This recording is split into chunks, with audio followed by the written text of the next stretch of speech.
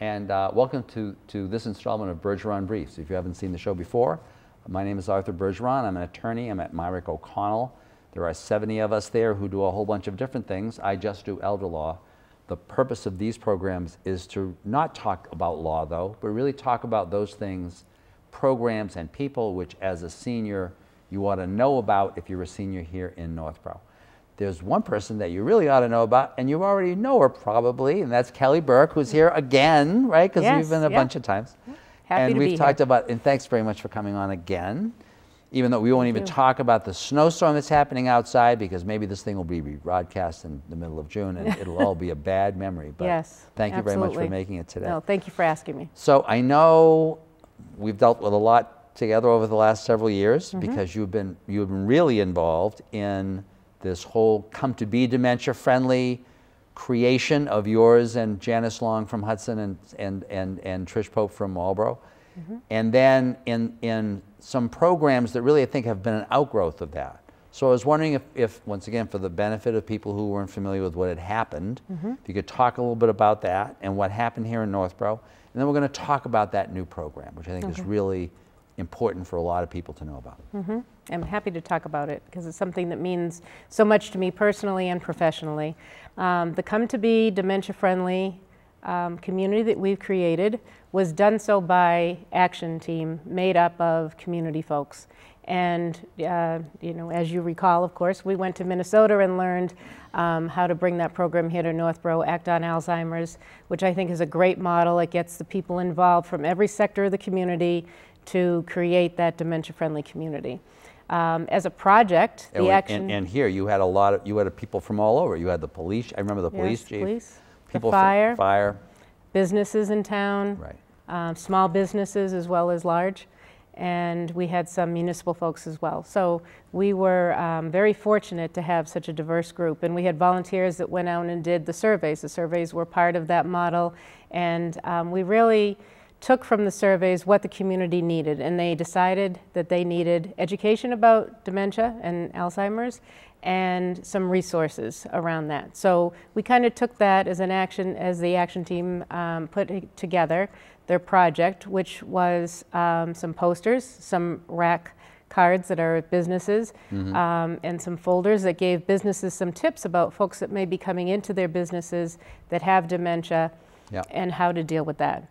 Um, so that that's been And, and you really got some folks involved in doing that distribution too, right? So Right, how, how did that how did that yeah, work out? we were we were very fortunate. Um, the police chief, who was very involved in the action team, Yeah. said this is wonderful timing for him because he was hiring um, a whole new uh, group of officers. And he had the idea that he wanted to have these officers go out on walking beats and talk to businesses and introduce themselves to, to businesses so that they know who the police department um, is made up of.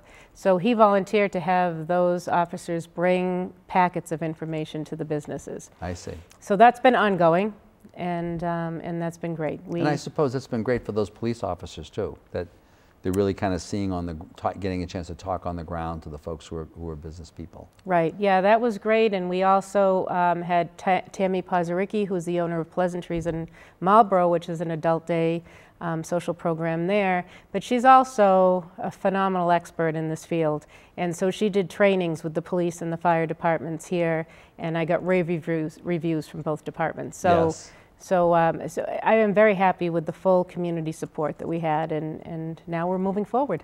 And I, th- and I would suppose that that kind of training too, I remember you're, you're saying at an earlier show, that the train, in general, training was important, but that really training of those first responders is just critical because they're, they're mm-hmm. dealing with these folks all the time. Right. And I remember Right. your police chiefs coming on and talking about how it changes the whole response to a call. Right. You go to a domestic call and there's an argument happening in the family and, and, the, and the husband's yelling and screaming and you're trained as a policeman to say, this is an alcohol problem or a drug problem. Mm-hmm. And so your response is, you know, quiet down, assert authority. But if they know it's a dementia problem, Mm-hmm. like the whole, it's about calming things down and That's right. so it really, really, that's, that, it's wonderful that that kind of training has occurred. Yeah, and the and the police, you know, I'm sorry to interrupt you, but I think the police were already on target. They already had an alert form that people can use to give the police department information about a loved one who may have dementia. They can upload a photo to the police department so that if, if that person's ever missing, um, the, the local police are responding to that, which is so important. That's a good. I, I'm glad that you reminded me that. So could you just follow on that a little bit. So in other words, if I'm so if I'm living here in Northborough, and I have dementia, or my husband does, or my wife, or some you know somebody does in the family, and I want to make sure that if they wander or whatever, that the police are going to be aware of who they are. What do I What do I do? What do I do? There's a simple, it's called a cognitive alert. Yeah. It's a simple form that you can download from the um, police department, and we have it on um, our site as well, senior Yeah. center site. Yeah. Um, we also have copies at the senior center if it's easy to pick one up. And it's just a very um, short form that asks for the, the loved one's name and information about the loved one, as well as a photo, Yeah. a current photo. So that if that person wanders, um, the local police have that information at their disposal. And that's great because all is- the police now have the every, everything's on their phone, Right. Or in the cruiser, Yep. so you can actually somebody's kind of you know wandering around at the Wegmans. Right. The, the the police can kind of immediately know if you've had the forethought to kind of inform them that this is a Right. person Yeah, and, and, and to know and to know who they are because the good chance they won't have an ID at that point. Right. Right. Yeah. So No, it's a a, it's, a, it's a great resource. So I, I especially wanted you to come on to talk about the, the, the thing that the, the program that, that you and your, your friends Janice. Long and Trish Pope have d- developed because the three of you have really like bonded. I watch the three of you now. and It's like the three sisters from, Mm-hmm. Right. from going to Minnesota because because they're Mm-hmm. the, the senior center directors from Hudson and from from Marlboro. So you kind of can you kind of talk about you know the original Hudson program and then how it's changed and, and, and the kind of the role of, of Northborough, which people could, could should be very interested in. Yes, yeah, I'm very excited about this. Um, we did work very well together from September of um, 2015 when we made our journey out to Minnesota. Um, how this evolved is that um, Janice Long and Hudson had run a very successful program called Daybreak. Daybreak is a, a three hour respite for the care partner. Um, and for the individual with dementia or Alzheimer's, it's a wonderful activity for three hours a day. So, so the so the way it works is you can you if you have you're you're caring for someone with dementia, you can bring the person to the Northborough Senior Center Yeah. to daybreak at the Northborough Senior Center. yeah, and, or, or the way- or in Hudson originally in- from Hudson, and then and then you don't have to stay with your care partner because there's there's things going on. It's a yes. There's activities. There'll be Yeah. lunch for that person. It's a three-hour program. Yeah. Um, it'll be from 11:30 to 2:30. Um, in our senior center, it'll be on Tuesdays. The really nice thing is that we are um, lifting that program completely from Janice, so there's going to be continuity. So Janice has her program on Thursday, Yeah. and Trish Pope in Marlboro will have her program on Wednesday. So the nice thing is is with the on Tuesday. Yes, yeah, Yeah. with the reciprocal nature of senior centers, um, if somebody would like those services, they can use this, the Northborough on Tuesday, over to Marlboro on Wednesday, and over to Hudson on Thursday, if they want to take advantage of those three days. Which is pretty terrific if you're a, if you're a caregiver. Yeah, it's a nice respite. You know, people can go have a haircut, they can go out shopping, they can go home, read a book, they can take a nap, whatever, however they want to use their time. I was going to say, I think it was you that told me that you that you that you, you asked the, uh, the person, so what are you going to do? She said, I just want to go to sleep. Right, She said, just, just I a just, nap. I just want a break. And then in the meantime, the person who has dementia, there are other folks there with dementia. Right, but and, right. and and I had forgotten that you're actually provide you're providing a meal also. Yes. So you're Yeah, taking, lunch will be taking care of that responsibility that that caregiver would, would otherwise have. Yes, But now tell them about the transportation. This is this was to me the most exciting part because you know I've, I've been involved. I'm really old, so I've been involved forever. You know, and and but you see communities. We all just live in our town, Mm-hmm. which is one of the reasons why that notion I think of having individual dementia-friendly teams was really important. Right. Because I don't really care if I'm in Marlboro what happens in Northborough. You're a thousand miles away, Mm-hmm. right? But there tends to not be that kind of interaction. So tell them about the Right, yeah. So we, we um, in Northborough work with WRTA. We have van service every day for folks over 60 and people with disabilities as well. Um, so that people can take advantage of the van service to come to the senior center. So it'd be a dollar and a half each way for folks to come up to, um, to come up to the senior center Yeah. if they're from Northborough. Yeah. Um, I know in West, in um, sorry, in Hudson and in Marlboro, they work with Metro West um, RTA, so I'm sure they'll be the same Yeah, type of transportation. yeah, And the care partner can come along with that person and use the van, and then if they needed to, they could go and do errands with the van as well, if they didn't have transportation of their own. And then if you're, and then if you're from Northborough, but you're going to the Marlboro or the Hudson one, then the, the transportation, you can still get the transportation from Northborough? That would be something we'll need to just work out a little bit on that. That, and that's one of the things that you're working out. That's one of the things that we're working on. But I think Exactly. that's, that's, it's really exciting that the, that the three groups are also kind of looking at really trying to provide that accommodation for folks, you know, so that you can have those three days. And you, Yes. you had also mentioned, I think when we were, we were talking about the, this, this, obviously the issue of sustainability always mm-hmm. comes up when you're talking about that. But that. Right. f- your friends group has, has expressed a real interest in trying to keep this program going after the, after the initial grant runs out. Yes, yeah, and I know it's the same thing with the other two towns as well.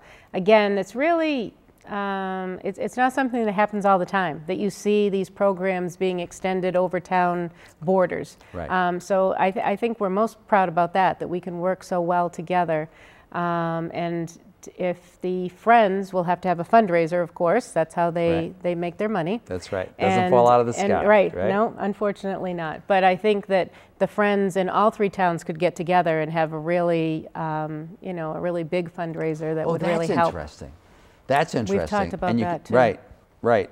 You could, and you could have everybody in one place, so people Right. could even more be bonding over this notion of kind of the sharing of the sharing of resources, Right, which is which is just a wonderful thing. Right, and we're able to bring the, the Daybreak program to these towns because of Metro West Health Foundation, who awarded us the grant. And I think the, the other nice point is there's a $15 donation per day in any of the three towns. So it's affordable as well for the, uh, for anybody who's caring for somebody with dementia. Right, Which is a nice perk as well. right, right. So- Because that's always the question, right? It's I Mm-hmm. mean, it's it's tough enough that you need to be just constantly with the person, right? um, but to also to, to have to endure some of the extra costs that are Mm-hmm. involved because of course you know as, as a, a, I always tell clients this is this is this so much of this expense results from this defect in the Medicare system that Medicare will pay for you know chemotherapy and operations and all this stuff but if your loved one just needs someone to help him put on his pants or th- th- that's Medicare won't cover it because it's not skilled care so ironically p- these people who have a loved one or who themselves are going through this disease, which allows you to stay at home, Right. unfortunately doesn't allow you to, uh, to get any of the benefits that are typically involved with having a disease. And so a lot of people can't stay at home just for that reason. Right. So to be able to really kind of subsidize that down, that's really great. Yeah. So thank you very much for this. Thanks for coming Thank on. you. I hope that people, oh, oh, I didn't, when do you think it will start?